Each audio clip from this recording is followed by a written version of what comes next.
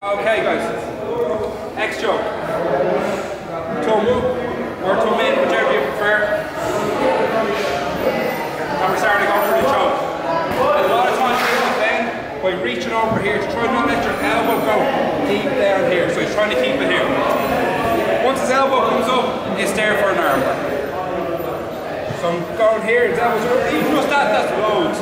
Punch the ground and bring your hip past down the other elbow, and then if you can, take that one, sometimes you can take it this way, up to you, so you can take it here, if he joins his hands, you can take it here, and grab your collar, or sometimes you can take it here, up to you, whichever way you want to do. So pull his arm in, just his elbow to elbow, heel to ear, and I'm not facing this way anymore, we're side on, elbow in, hand to the ground, leg overhead, finish up here, or sit off, and finish, whichever you prefer.